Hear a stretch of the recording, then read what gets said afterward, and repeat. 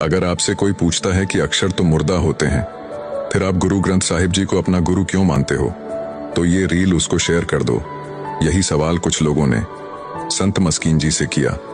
तब संत मस्कीन जी ने बड़ा प्यारा जवाब दिया। उन्होंने कहा कि मान लो किसी घर से एक बेटा विदेश गया है और सालों बाद उसकी एक चिट्ठी आए तो उसकी माँ को लगता है, जैसे उसका बेटा आ गया हो, उसकी बहन को लगता है, जैसे उसका सहारा आ गया हो। उसके पिता को लगता है, जैसे उनकी बाहें वापस आ गई हो। उनका घर खुशहाली से भर जाता है। फिर उनसे कोई कहे कि ये तो सिर्फ़ शब्द है, फिर इतनी खुशहाली क्यों मना रहे हो? परंतु उनके लिए तो जैसे उनका बेटा ही वापस आ गया हो। फिर संत मस्कीन जी बोले, मान लो किसी का बेटा मर गया। फिर उसके घर एक चिट्ठी आए कि उनका बेटा मर गया है।